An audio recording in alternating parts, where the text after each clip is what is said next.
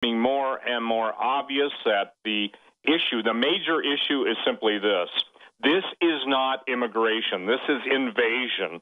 The pathetic excuse of the entity in the White House when he said that, uh, you know, ISIS was contained and then boom, and then the other statement that he made through his press conference in Turkey should be absolute, a declaration that he is overseeing and allowing the Islamic invasion of the United States and basically funding it in other parts of the world. You know, that's what Vladimir Putin. Putin spoke the most telling and compelling statement when he said, "Look what you have done." But I don't think people understand this is not by accident, and this is not by someone who is so removed from reality.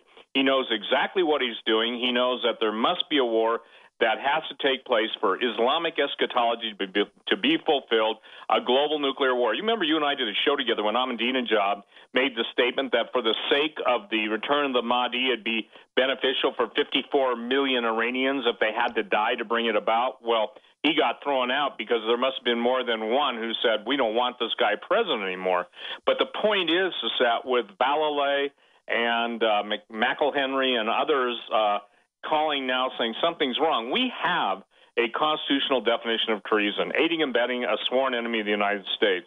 We have denial upon denial upon denial. But, Alex, I propose to you that all the weapons you and I have talked about, all of the ammunition that has been purchased, has been uh, secreted away in different places throughout the United States and will be for the invading army to acquire. I think, Alex, we are under invasion. This is not immigration, and the uh, the threats of ISIS and let's just face it, you and I have talked so many years that terrorism is nothing more than an extension of someone's foreign policy, in this case the terrorists, and the overthrow of the old world order. We've heard it from George Bush ad nauseum. And the point being now is we're seeing the implementation, and unfortunately, uh, with the veterans being killed off, 350,000 plus, denial of medical services, et cetera, since Obama came to office, now 900,000 plus veterans waiting. It's got to be obvious to everybody that we're seeing the uh, decimation of the U.S. military. We're seeing the, if you will, throwing uh, the Americans under the bus, and it's a war. It's civil war. Uh, when you see that the statements out of Obama, look, you don't need to make anything up. You don't need to go in long, uh, long-winded television network. Not that you do, but the television networks, they're trying to figure everything out, and it's so obvious. And one of the things about people is is that they're so numbed and dumbed down to reality, they can't get out of their entertainment, if you will, uh, uh, uh, paradigm and come to reality, knowing that this is the beginning of the end. As governor of the state of Texas, I will not roll the dice and take the risk on allowing a few refugees in uh, simply uh, to expose Texans to that danger. Shane Steiner's involvement with InfoWarsLife.com truly happened in an organic way. I went to high school with Shane, his brother, knew his parents well, and he was visiting the office once, hadn't been to the office in years, and said, Wow, I notice you're making and selling supplements. Do these really work? Because I've tried a lot of supplements as a, a workout enthusiast, and I really think most of them are hype. And I said, Here, take some home, try it. Well, a few weeks later, he came in blown away and said, I want to buy three boxes of this stuff to give my friends and family. It's simply amazing. He said, Why does it work so well? And I said, Listen, go to InfoWarsLife.com, watch the informational videos with Dr. Group and others. They understand how it all works. I know that it works for me. That's all I understand. The science, the facts, the research, people's testimonials, they're all on InfoWarsLife.com. You can check it out for yourself. I wanted to go to the gym. I wanted to push myself and work out harder. And that led to me being able to come out and do stuff like the barefooting and the surfing and stuff like that, which I've never done. I, I never would have done that uh, two years ago. Shane has said over and over again more than just libido and energy, it made him want to get into the gym more. It made him want to get in better shape. And believe me, the Steiners have amazing genetics. Uh, his brother is a world champion steer wrestler. His dad, Bobby Steiner, is a famous world champion bull rider. They've got natural genetics. But when you added this to the mix, in Shane's own words, it took him to the next level.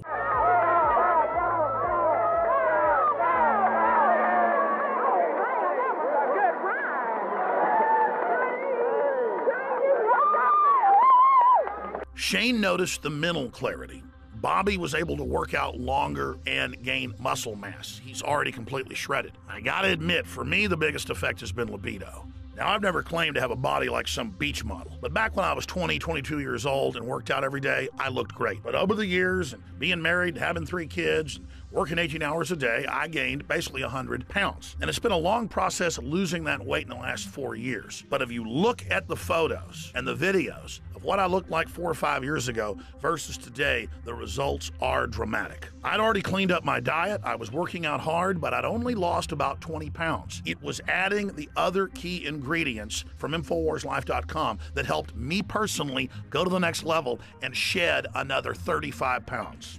This has actually made me feel so good that uh, here about a year ago I started training jiu-jitsu and that kind of led to doing some boxing and kickboxing. I mean it's, it's amazing that two years ago I was on the couch and couldn't even tie my shoes and now I'm training with MMA fighters and uh, just doing stuff that I never thought that I'd, I would be doing ever again. So Super Male Vitality has allowed me to do some amazing things. And if it has those kind of effects for me, I know that it will do great things for you. So just try Super Male Vitality. I promise you, you'll love it. And finally, let's look at Anthony Gucciardi, Infowars.com reporter. He also works with Dr. Group and others, helping develop the newest, most cutting edge, high quality supplements. Let's take a look at what happened when he tried to barefoot ski for the first time with the Steiners. And remember, we're not making fun of him. He had the will to get in the arena, and he's lost more than 10 pounds in the last few years of fat and gained more than 10 pounds of muscle. And Anthony chalks it up to super male vitality as well.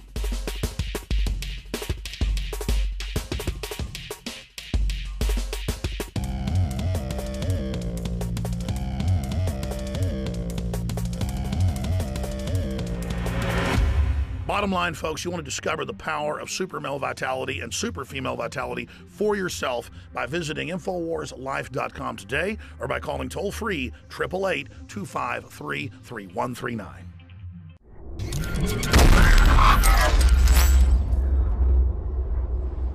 In the wake of the terror in Paris, President Obama is blatantly disregarding the very real concerns of the American people. Rather than review the policy to bring in 10,000 Syrian refugees after the horror the world witnessed just five days ago, Obama clutches like a madman to his power and stays the course on the Bilderberg fueled globalist demand that he oust President Bashar al Assad from Syria. Rather than do whatever it takes to protect the United States, Obama is leaving the gates wide open as he shuns the overwhelming concerns of Americans and aids an invading force to quietly enter the United States. People are flooding social media to encourage Americans to call their congressional representatives to stop the resettlement of Middle Eastern migrants after government officials and contractors admitted the migrants cannot be tracked or vetted properly.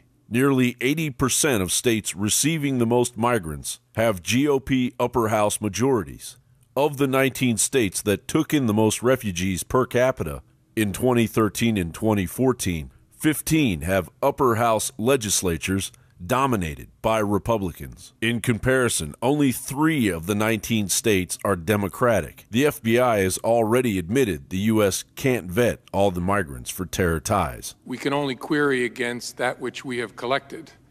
And, and so if someone has never made a ripple in the pond in Syria in a way that would get their identity or their interests reflected in our database, we can query our database till the cows come home, but we're, we're not going to will, there will be nothing show up because we have no record on that. You can only query what, what you've collected. And, and with respect to Iraqi refugees, we had far more in our databases because of our country's work there uh, for a decade. This is a different situation. In the case of Where Syria, you can't go to the, the uh, government offices in that country. They're in disarray. You can't go interview people who know people who are applying for this status. Um, do you disagree with the FBI director uh, when he says that uh, uh, vetting uh, uh, Syrian refugees is extremely difficult, if not impossible? Well, Mr. Chairman, I'm not sure he said it was impossible. Certainly, the, the, uh, not only the Department of Justice, but all of our agencies will make every effort to vet every refugee coming into this country, from the databases to the interviews that those individuals are subject to, to the biometric screening as well. Let me go on. Certainly, there are challenges to that process because of the situation in Syria. Recently, a Syrian migrant who was relocated to Louisiana went missing. The group accommodating him admitted it doesn't track the migrants. The LA Times is reporting that more than half the country's governors, citing security concerns, said they would refuse Syrian refugees.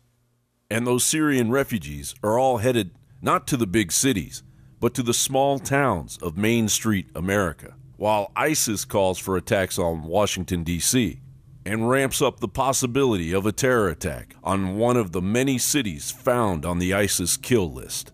John Bowne for Infowars.com.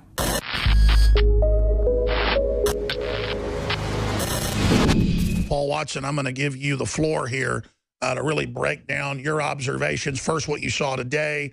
I appreciate you and uh, the courage of you and Biggs and Zimmerman. And then walk through uh, other things you've uh, witnessed since you were on with us 23 hours ago yesterday.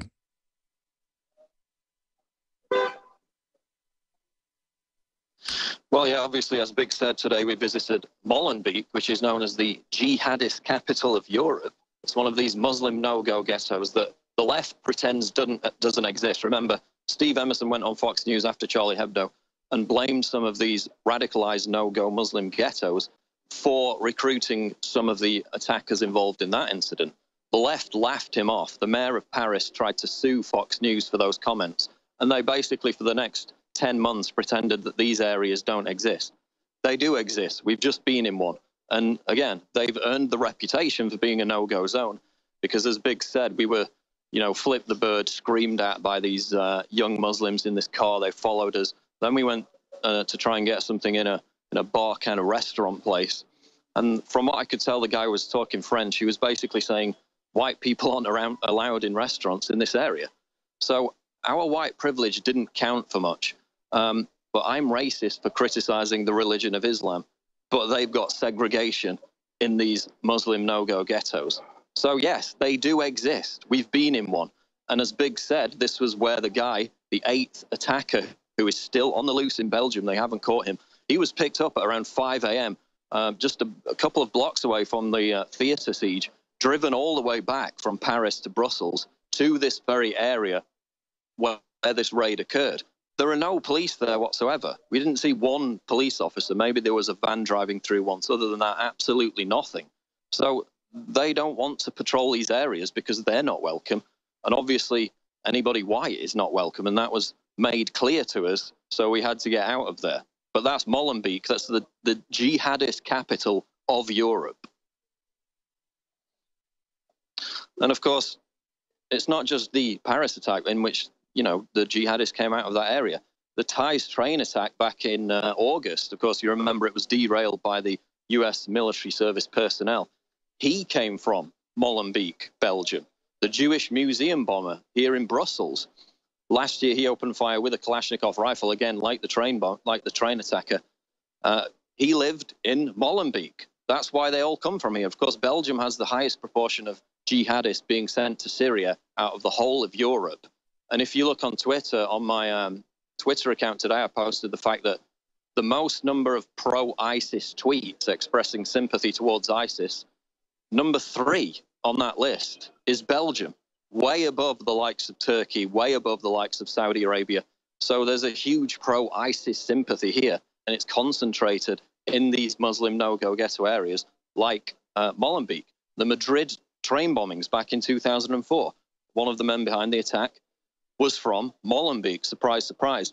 And there are other attacks as well. Of course, the, the mastermind behind the Paris attack, who is currently based in Syria, he came from Molenbeek, as did uh, one of the actual assailants who is still on the loose. So this is a an area with 30, 40% unemployment rate. Um, they call it the capital of political Islam in uh, continental Europe. That's according to Belgium's interior minister. And what's interesting is that even though Belgium is quite a left wing country, obviously quite tolerant of intolerance, Um, the Belgian prime minister came out yesterday and said almost every time an Islamic terrorist atrocity occurs, there is a link with Molenbeek. He went on to say, We have tried prevention. Now we